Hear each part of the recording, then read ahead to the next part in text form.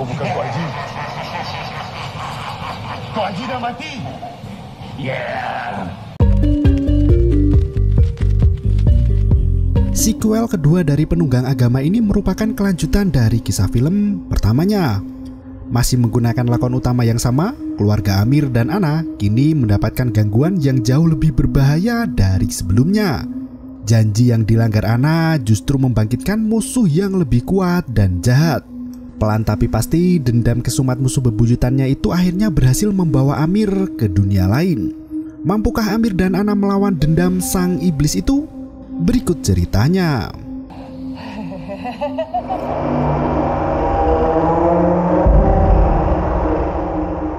Film diawali dengan potongan adegan kilas balik penunggang agama satu yang belum nonton, linknya ada di deskripsi. Setelah beberapa cuplikan di sequel pertama ditayangkan, cerita berlanjut. Malam itu, Ana mengejar Sarah yang berdiri sendirian di bilik bambu. Sarah ketakutan melihat ibunya datang dan berlari menjauhinya. Ana mulai merasakan hawa tak enak di belakang punggungnya. Roh Tok Aji berkata pada Ana jika suaminya telah mati. Ana menoleh ke arah suaminya dan melihat jasad Amir telah mati dengan leher tergantung di langit-langit. Ana pun terbangun dari mimpi buruknya itu. Amir menyadari istrinya mengalami mimpi buruk lagi untuk kesekian kalinya. Ana hanya mengangguk tanpa menjelaskan apa yang baru saja ia lihat di dalam mimpi. Ana teringat dengan janjinya pada Huda dan film pun dimulai. Sarah Sarah bermain dengan teman sebayanya bernama Asrul. Orang tua Asrul mengucap terima kasih pada Amir dan Ana karena telah menyembuhkan anaknya dari gangguan syaitan. Sang ayah bertanya, apakah benar penampakan yang dilihat oleh anaknya itu? Amir berkata, jika penampakan itu adalah hal supranatural. Ana menambahkan jika makhluk supranatural itu kini sudah kembali ke alamnya sehingga orang tua Asrul tak perlu merisaukan hal itu lagi. Orang tua Asrul kembali mengucapkan terima kasih untuk Amir dan Ana. Ia juga memanggil mereka dengan sebutan Ustadz dan Ustazah. Amir terlihat canggung dan dengan sopan menolak sebutan itu. Ayah Asrul memberikan amplop berisi uang tunai sebagai imbalan atas pengobatan yang dilakukan Amir. Meski ragu, Amir tetap menerima pemberian itu dan berterima kasih pada mereka. Seorang pria misterius datang untuk menemui Amir. Melihat ada tamu lain yang datang, mereka pamit dan mengajak Asrul untuk pulang ke rumah. Amir dan Ana mempersilahkan tamu barunya itu untuk berbincang di dalam rumah. Ternyata pria yang bernama Sofian itu tengah menghadapi suatu masalah. Setelah dipecat dari pekerjaan, ia mulai mendengar suara bisikan aneh di telinganya. Selama enam bulan ia menganggur, pekerjaannya di rumah hanya nonton TV dan bermain game. Sofian berkata dirinya pernah mengunjungi hutan dan camping di Semenyi. Ia percaya penunggu hutan itu mengikutinya dan mengganggu ketentraman hidupnya.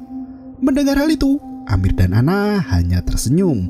Perlahan Amir berkata jika itu tidak mungkin terjadi. Amir memberikan selembar formulir untuk mendapatkan informasi lengkap Encik Sofian itu. Ana berkata jika gangguan yang dialami Sofian bisa jadi karena ada gangguan psikologi. Dia akan marah bila kita cakap di mental. Saya tak marah. Malam harinya, seorang pastor bernama Michael keluar dari gereja untuk menuju ke rumahnya. Ia mengunci pintu gereja rapat-rapat dan berjalan melewati gerbang. Di tengah jalan, ia mendengar suara ketukan dari dalam gereja. Ternyata makhluk mengerikan berada di belakang punggung Pastor Michael dan mengikutinya. Sementara itu, Ana dan Amir memeriksa formulir yang sudah diisi Sofyan. Ana berkata jika pria itu tidak diganggu jin melainkan mengidap penyakit psikologis. Setelah bercengkrama sambil membicarakan orang tuanya yang sedang umroh, Ana pun masuk ke kamar Sarah. Sarah mengacungkan jarinya ke arah sudut kamar. Ana mulai mengamati sudut itu dan berpikir akan ada penampakan yang dilihatnya. Ternyata bocil kecil itu mengerjai ibunya katanya disuruh si ayah. Ana menyelimuti anaknya dan mengantarnya tidur. Ia kembali ke kamar dan memarahi kejahilan ayahnya yang menyuruh Sarah untuk mengerjainya. Amir masih sibuk dengan akun media sosialnya. Ia membuat akun yang berisi tentang pengobatan Islam bernama Al-Amir di Facebook. Ia memamerkan akun barunya itu pada Ana dan berkata jika pamor pengobatan Islamnya akan semakin tersohor. Ana tampak tak terlalu senang dengan akun media sosial itu. Ia berkata mengobati orang yang terkena gangguan jin itu hanyalah pekerjaan sambilan. Amir berdalih dengan adanya akun media sosial ia dapat membantu lebih banyak orang lagi. Ponsel Amir berdering. Tetangga mereka Munirah meminta bantuan karena suaminya kesurupan. Amir dan Ana langsung bertolak ke rumah Munirah. Listrik di rumah itu mati seketika. Tiba-tiba suami Munirah menyerang Amir dan berbalik menuduh Munirah menyantetnya. Amir memercikan air ke tubuh suami Munirah. Ia juga menyibakkan tanaman bidara sembari membacakan doa. Akhirnya, lampu kembali menyala dan suami Munirah sudah sadar kembali. Setelah semua kembali normal, Amir dan Ana pamit pulang. Munira memberikan amplop sebagai tanda terima kasih. Amir sudah tak canggung lagi menerima imbalan itu. Di dalam mobil, Amir menghitung uang tunai yang Munirah berikan. Mereka mendapatkan seribu ringgit hanya dalam waktu beberapa jam saja. Amir terlihat senang dengan imbalan yang ia dapatkan itu, sementara Ana mulai merasakan ada yang berubah dengan sikap suaminya. Huda, istri Toaji, berada di tempat persembunyian berambisi untuk menyihir Amir dan Ana. Huda melepas hijab panjangnya dan mulai melakukan ritual persembahan setan.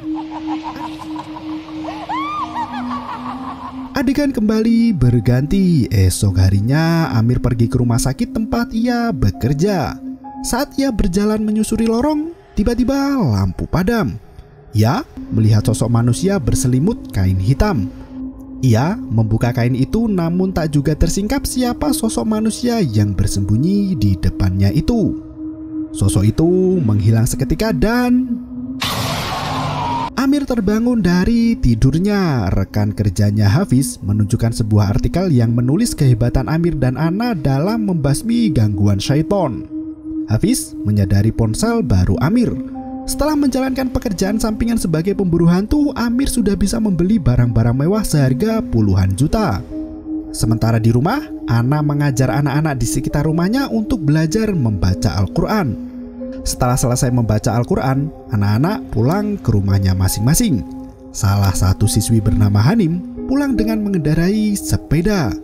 Di tengah jalan, ia dihadang oleh sesosok wanita misterius berjubah hitam. Ya, wanita itu adalah Huda, istri Toaji yang kini menjadi musuh bebuyutan Amir dan Ana. Selepas dari rumah sakit, Amir mengunjungi rumah mantan pasiennya, seorang datuk yang tajir melintir.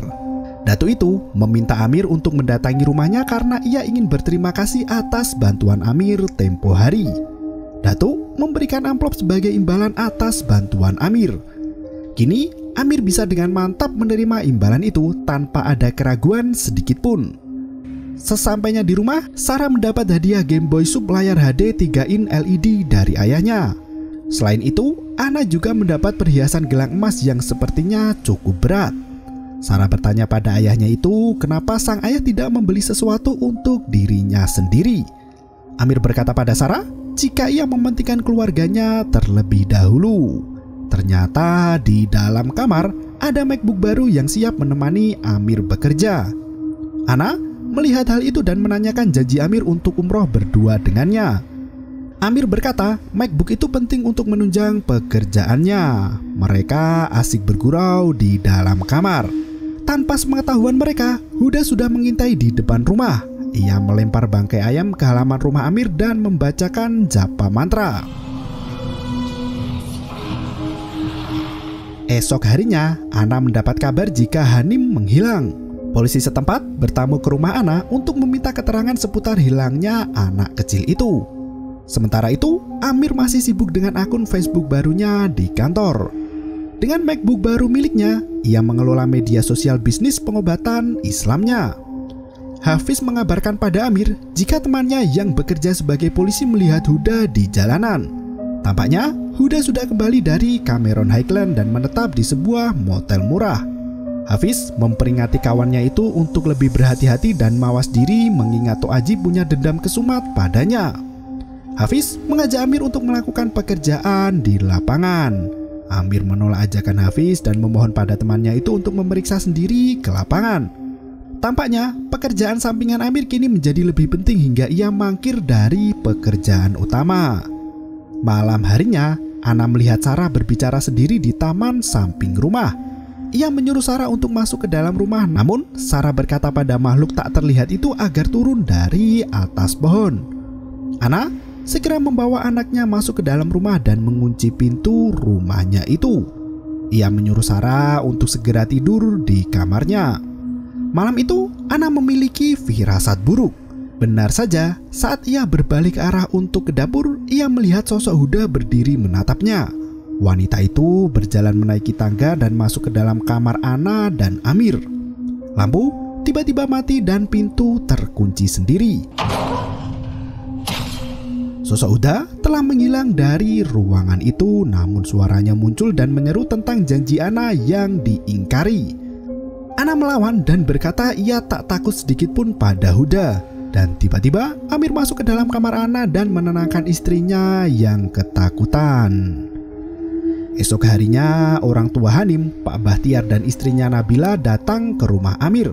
Mereka meminta bantuan agar Amir dan Ana turut mencari anaknya yang telah menghilang selama tiga hari itu. Amir berkata jika kasus menghilangnya Hanim sudah ditangani pihak berwajib. Amir seolah-olah enggan membantu Pak Bahtiar yang notabene berasal dari keluarga kurang mampu. Ana berkata jika Hanim menghilang setelah pulang mengaji di rumahnya, hilangnya Hanim itu dikarenakan gangguan makhluk halus.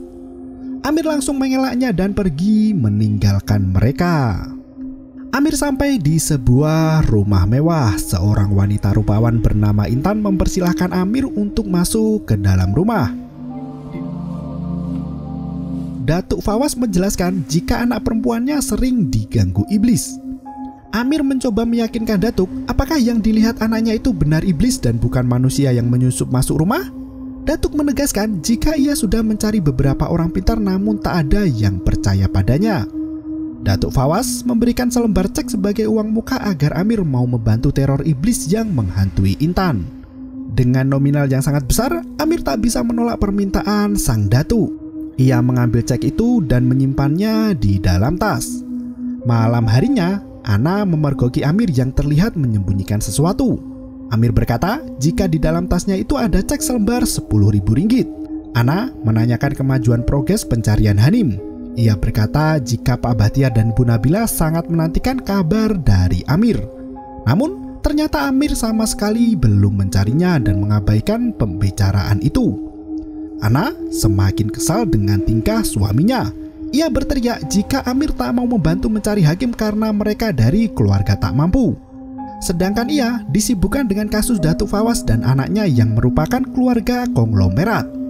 Pertengkaran mereka semakin menjadi-jadi dan akhirnya Amir berjanji akan menemui Pak Bahtiar esok hari. So, besok saya pergi cek ni Lepas tu saya cakap dengan Cik Batia Keesokan paginya, Amir mengunjungi rumah Bahtiar yang berada di perkebunan teh Kamerun. Di perkebunan teh itu, Amir melihat Pastor Michael yang sedang bercengkrama dengan Pak Bahtiar. Kedatangan sang pastor nampaknya membuat Amir kalah pamor. Ia tak segan bertanya pada Nabila dan Bahtiar mengapa mereka meminta bantuan pastor. Nabila berkata jika uang yang mereka miliki sangatlah sedikit. Mereka harus tetap bekerja hingga tak punya cukup waktu untuk mencari anaknya sendiri. Pastor Michael tiba-tiba datang tanpa mereka meminta bantuan darinya.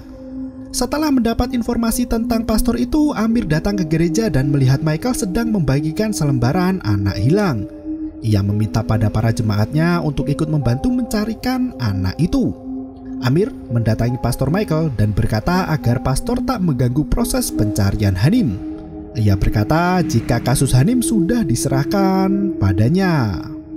Malam harinya, Sarah masuk ke dalam rumah hantu lagi di alam lain. Ia menemukan Hanim di alam itu. Sarah langsung mengajak Hanim untuk segera kembali pulang. Namun Hanim tak mau mengikuti Sarah dan menunjuk ke arah belakangnya. Ternyata Korinto Aji masih memiliki dendam pada keluarga Amir. Sarah melihat Tok Aji menatapnya dan tertawa terbahak-bahak. Sarah menutup pintu di ruangan itu dan tiba-tiba Ana membangunkan Sarah yang mengigau saat ia bermimpi buruk. Sarah berkata jika ia melihat Hanim diculik oleh Tok Aji. Ana berkata jika Tok Aji sudah mati. Namun Sarah kembali memastikan jika dirinya benar-benar melihat dukun sesat itu. Saat Amir pulang, Ana menceritakan apa yang dilihat Sarah padanya. Amir tampak tak peduli dan berkata jika Hanim menjadi urusan polisi. Mereka akan mencarinya esok hari bersama warga yang lain. Ana ketakutan dengan pengakuan Sarah yang melihat To Aji. Amir mencoba menenangkan istrinya dan berkata jika To Aji sudah mati. Sambil menangis, Ana berkata jika Huda masih hidup dan akan membalas dendam padanya. Awak lupa ke?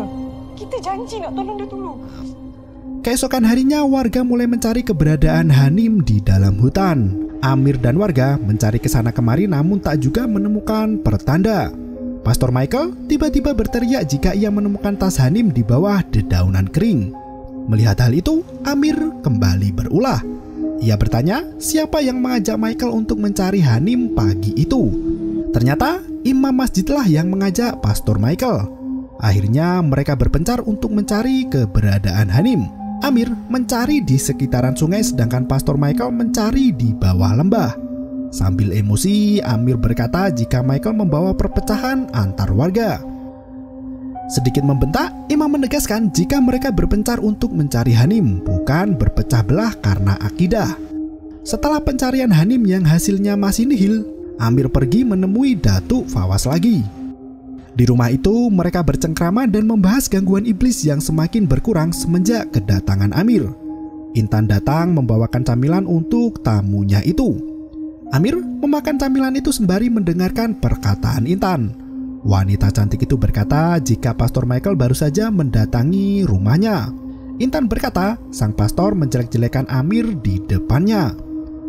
Mendengar hal itu, Amir sampai tersedak dibuatnya. Intan menegaskan jika ia tak percaya dengan omongan Pastor Michael karena bagi mereka, Amir sudah seperti keluarga.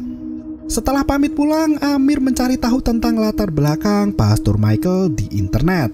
Pastor itu dikenal sebagai orang yang baik hati dan ramah. Ana masuk ke kamar dan kembali menanyakan progres pencarian Hanim. Bukannya memberikan info tentang Hanim, Amir malah berkata jika Pastor Michael lah yang menculik Hanim. Amir berkata jika Michael berpura-pura mencari Hanim, namun sebenarnya ialah penculik yang sesungguhnya. Bahkan, Michael juga berusaha merusak reputasi baiknya di depan banyak orang. Mendengarkan penjelasan tak jelas itu, Ana mulai naik darah. Ia bertanya pada Amir apa bukti yang mendasari kesimpulan itu. Amir semakin marah dan berkata jika sudah jelas pastor ingin merusak reputasinya. Ana berkata mengapa Amir menjadi tinggi hati. Ia meminta Amir untuk mencari seorang anak bukan untuk kekuatan. Ana mempertanyakan gamis mahal serba putih yang Amir beli. Amir berkata jika itu adalah sunnah. Ana mengambil jam tangan mahal milik Amir dan membantingnya ke tanah. Seketika itu Amir langsung menampar pipi Ana. Waktu berlalu, keesokan harinya Amir mulai dikacaukan dengan cuitan netizen yang membulinya. Siang itu, Amir pergi mengenakan gamis dan peci mahal serba putih untuk pergi ke rumah Bahtiar. Dalam perjalanan, mobil Amir dihentikan oleh Pastor Michael. Pastor itu menunjukkan sebuah tulisan teror di atas namakan Amir. Tulisan itu tertempel di pintu gereja Pastor Michael. Amir berkata jika ia tak pernah menuliskan hal itu dan bergegas pergi. Amir, I don't need your help. Amir sampai di rumah Bahtiar yang terletak di sebuah perkampungan kumuh. Tanah yang becek itu membuat Amir harus menyingkapkan gamisnya. Bahtiar berkata jika Nabila istrinya ketakutan. Belum sempat masuk ke rumah Bahtiar, Amir mendapat telepon dari Intan. Wanita itu berkata jika ayahnya dalam bahaya dan meminta Amir untuk segera ke rumahnya. Bahtiar keluar dari bilik dan membawakan minuman untuk Amir. Tanpa berkata apa pun juga, Amir pergi meninggalkan Bahtiar begitu saja. Sesampainya di rumah Intan, hari sudah mulai petang. Datuk Fawas berbaring di atas kasur dengan wajah dan kulit yang tampak pucat. Intan menangis terseduh sembari menceritakan kondisi ayahnya itu. Ia berkata jika ayahnya mungkin akan segera meninggoy. Saat Amir mencoba menelpon ambulan, Intan mulai merayunya. Ia memeluk Amir dan berkata agar Amir mau memperistri dirinya. Setelah Amir masuk ke dalam perangkapnya, sosok Intan asli muncul yang ternyata Intan adalah jelmaan Huda dan Datuk Fawas adalah Korin Toaji. Seketika itu Amir sudah berada di dalam rumah angker. Rumah itu adalah wujud asli dari rumah Datuk Fawas yang ia lihat megah namun aslinya tak terawat. Ia diikat di kursi yang terletak di depan altar iblis. Huda berkata jika dirinya sudah sejak lama menunggu hari di mana Amir mulai goyah. Ia menyiapkan jebakan sedikit demi sedikit, pelan tapi pasti. Mulai dari angin yang berhembus saat Intan membuka pintu rumah hingga camilan yang diberikan itu semua hanyalah tipu muslihat Huda. Amir merasa melihat makanan enak padahal yang dimakannya itu adalah cacing tanah. Sambil cekikikan Huda berkata jika manusia mudah terberdaya ketika imannya lemah.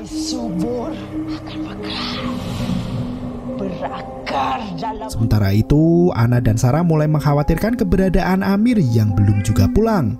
Ana meminta Hafiz untuk mengantarkan dirinya mencari Amir. Ana membuka tas Amir yang katanya ada cek sebesar 10.000 ringgit. Saat diambil, cek itu sudah berubah menjadi daun kering. Adegan kembali ke Huda. Ia membawa Hanim keluar dari persembunyiannya. Huda memberikan pilihan pada Amir. Apakah ia akan menyelamatkan Hanim atau menyelamatkan nyawanya sendiri? Amir meminta Huda untuk bertobat dan melepaskan mereka berdua. Namun Huda sudah hilang akal. Ia bersiap menancapkan pisau ke tubuh Amir. Tiba-tiba Pastor Michael datang dan memukul punggung Huda menggunakan bongkahan kayu. Ternyata Michael mengikuti arah perginya Amir.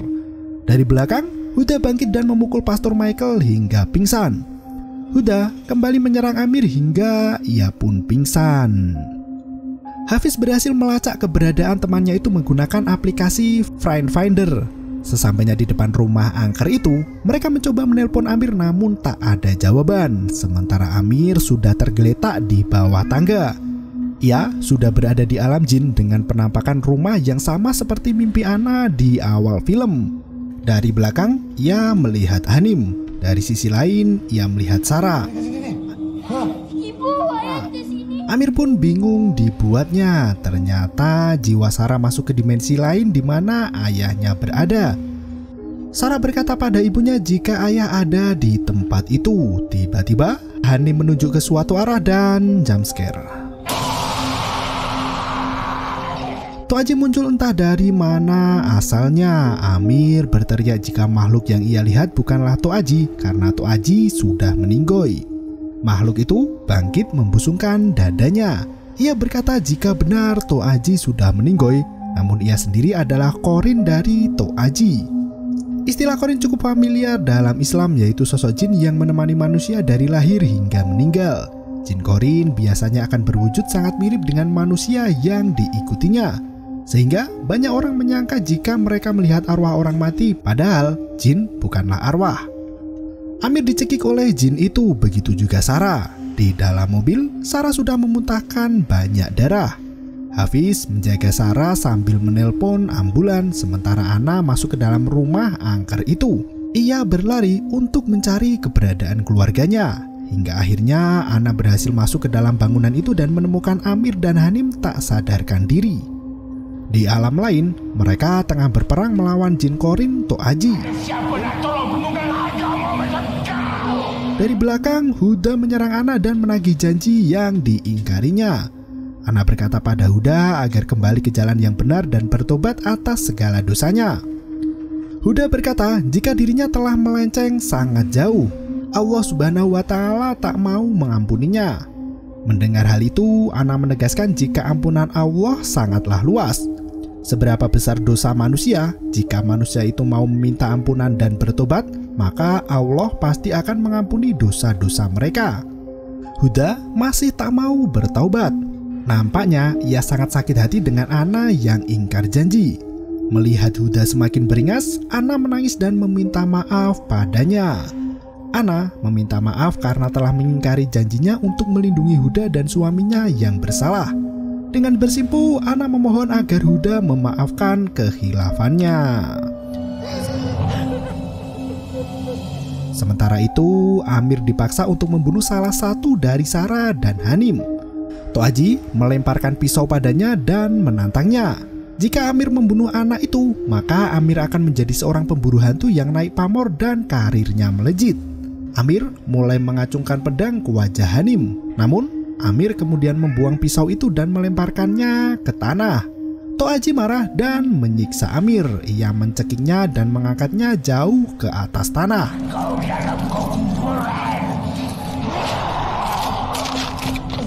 Ana menghancurkan altar di rumah angker itu. Dibantu dengan doa yang dipanjatkan Hafiz di dahi Sarah, akhirnya Korinto Aji pun musnah menjadi abu.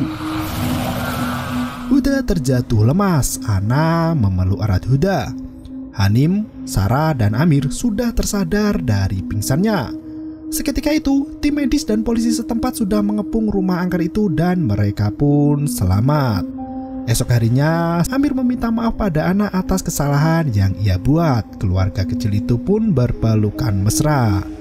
Amir menjumpai Pastor Michael dan meminta maaf atas kesalahan yang ia lakukan. Dengan lapang hati, Pastor Michael memaafkan kesalahan Amir dan berbalik meminta maaf.